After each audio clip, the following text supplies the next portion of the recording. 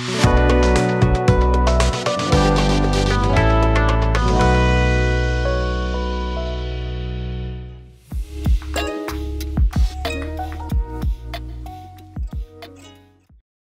friends, welcome.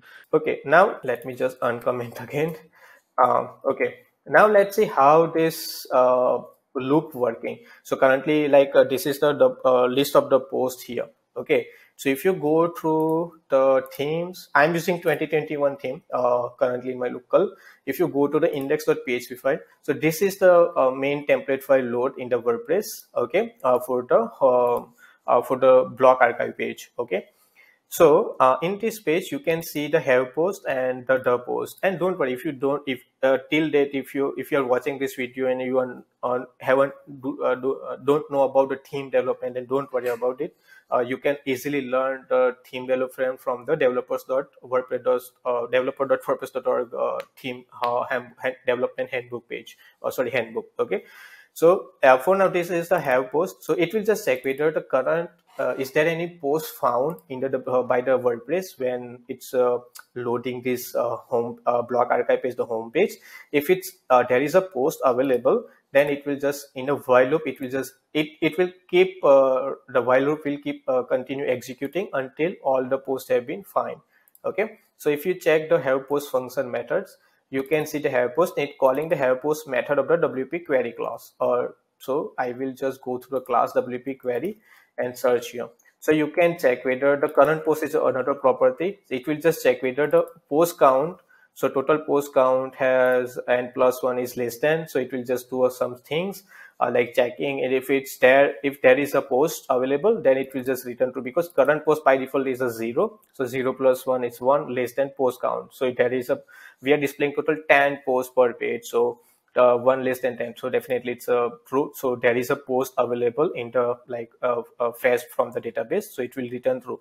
It will return true and it will just uh, uh, go into while loop. Now while loop in the save function will call because we need to ex keep executing the while loop until all the posts will displayed from the loop okay? From all the uh, the post array.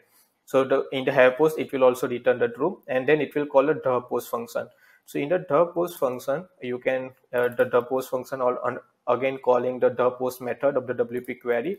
So if you go here, okay. So before that, I forgot one thing is that uh, have post also executes uh, like uh, uh, the do action reference and it's about hooks. So if the uh, loop is ending, then it will call the loop and uh, loop and action. So these are the action loop no results if there is no post found.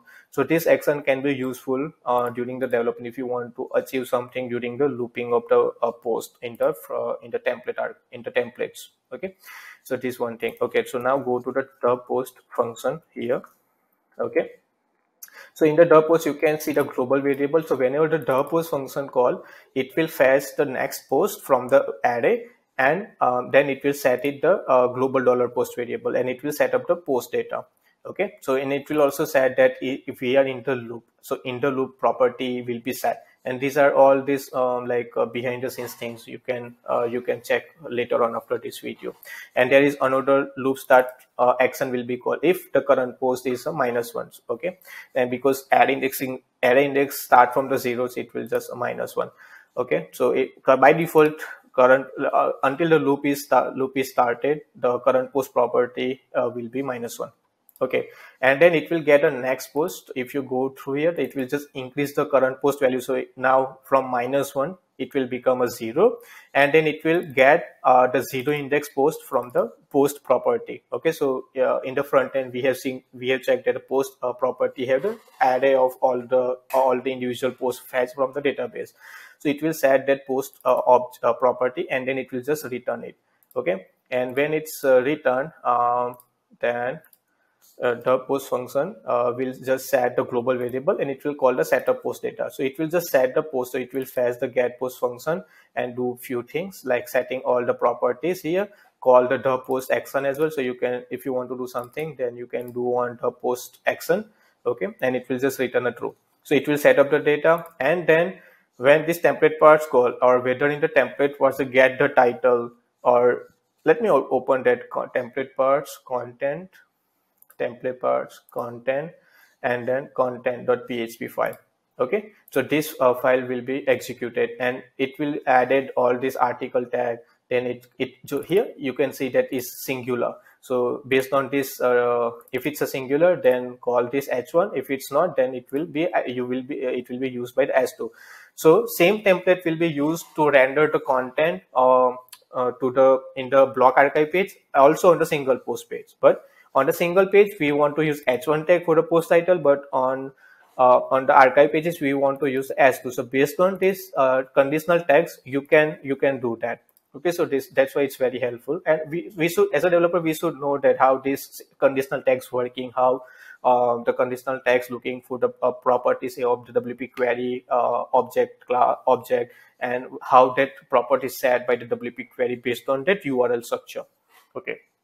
And then it uses the the content. So these are the, the template tags we can call. And you can see that we are not passing any id or something.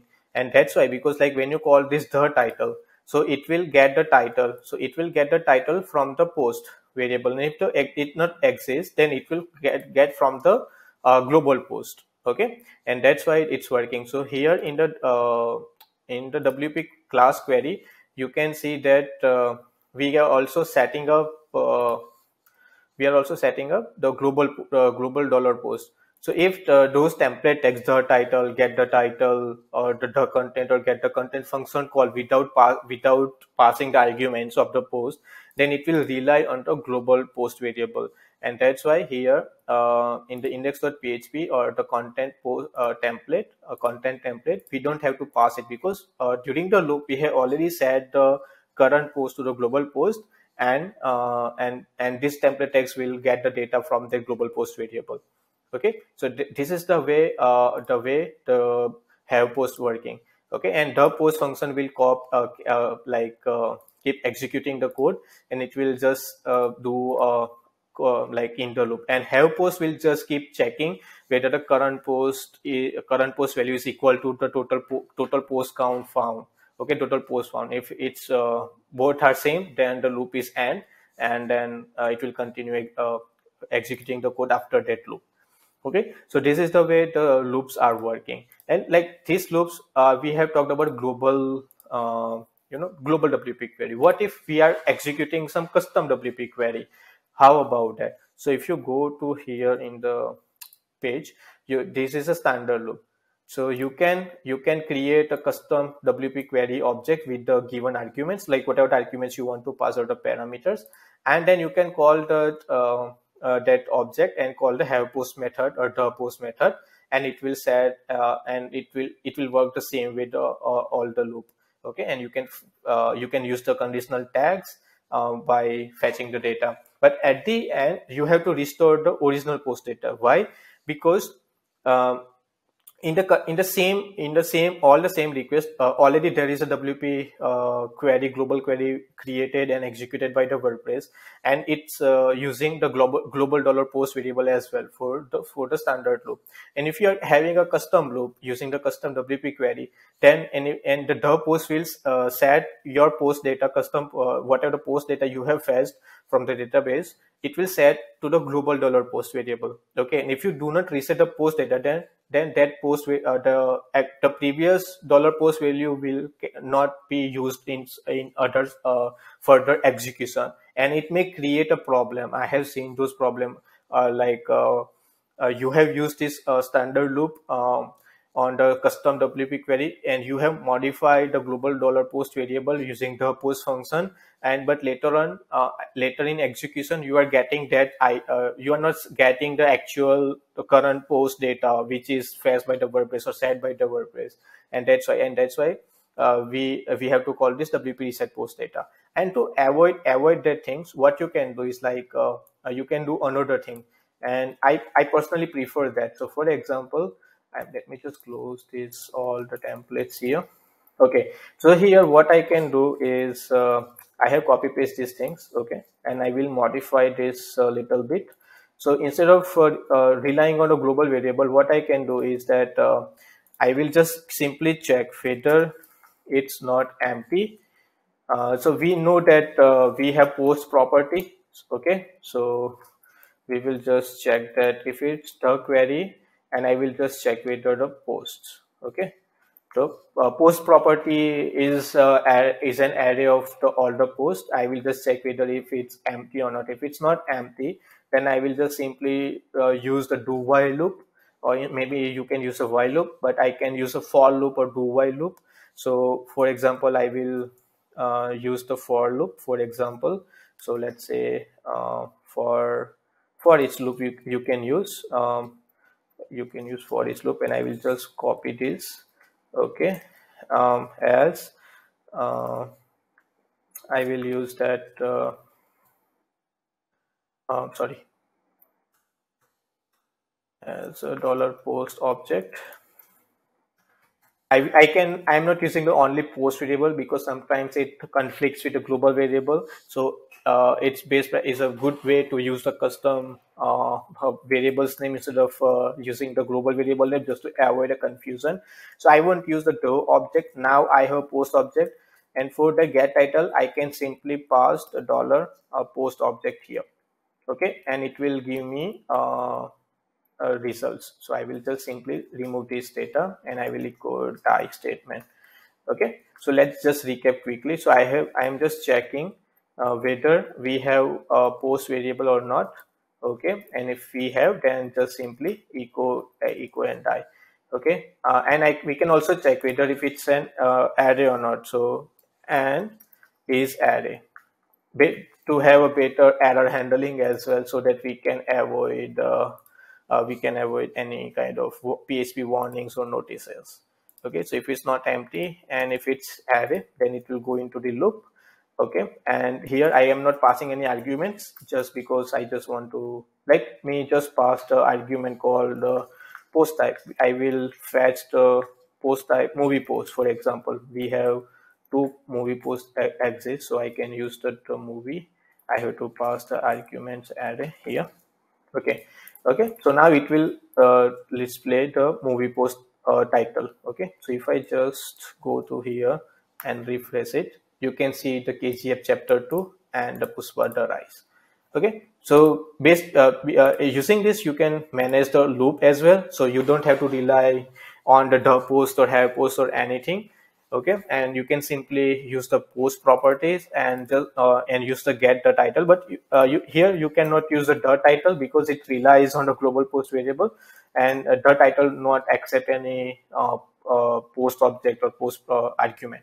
So instead use the get title or you can use the get the get underscore the underscore content.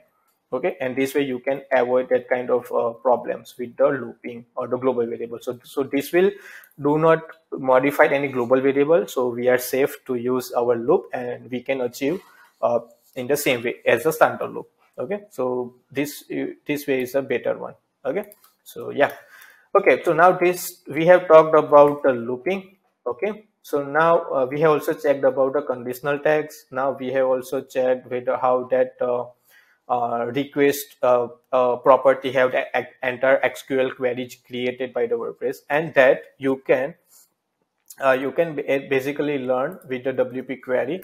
So let me just pass a WP query here. Okay, so whenever you create a, a construct method, uh,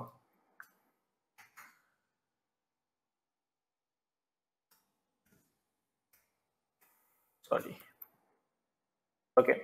So whenever you we create an object of the WP query uh, with the arguments, it will create uh, call this W uh, query uh, query method, and then it will perform initialization and then few other things you can go through it. So this is uh, they will just unset the current uh, properties and just set initialize the properties. Okay, and then sorry okay I, forgot a shortcut about go back anyway. So yeah and then in the query you can see the get post okay? So in the get post it will parse the query. Based on the arguments it they will pass the query. And in this argument you can see the pre-get post from uh, action. So using this action you can modify uh, the wp query uh, uh, arguments okay so uh, you can you can you can use this action and it's a reference array. So it will pass dollar this object in the reference way. So you can directly modify this object uh, properties uh, directly in, in, your callback function. We will see how we can use the pre-get post function. Okay?